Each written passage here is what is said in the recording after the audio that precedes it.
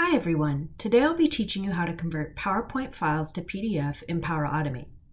As a reminder, this will work the same way in Logic Apps as well.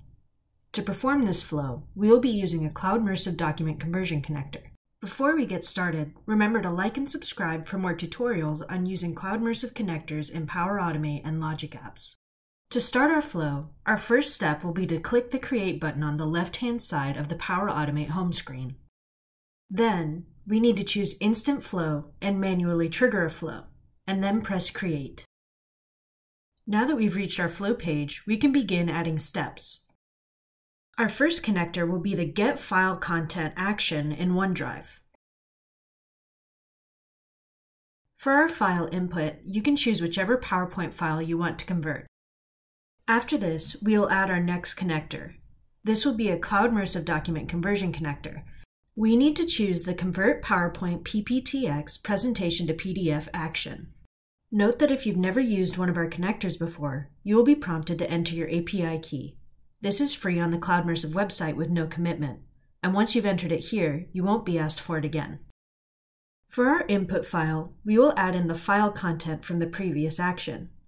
The input file name should be whatever you'd like followed by .pptx.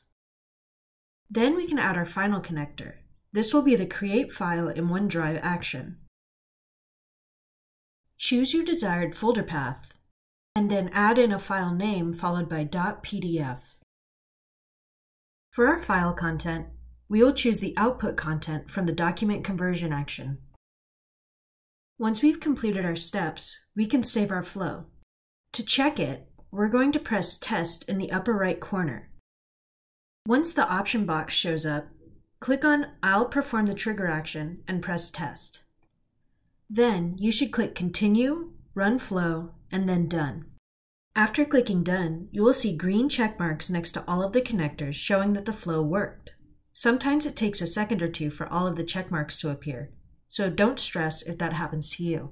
If your flow doesn't work for some reason, check to make sure that your original input file was valid for the connector, meaning it was a PPTX file, and that the names you chose for your files throughout the flow were followed by their file type, such as .pptx and .pdf.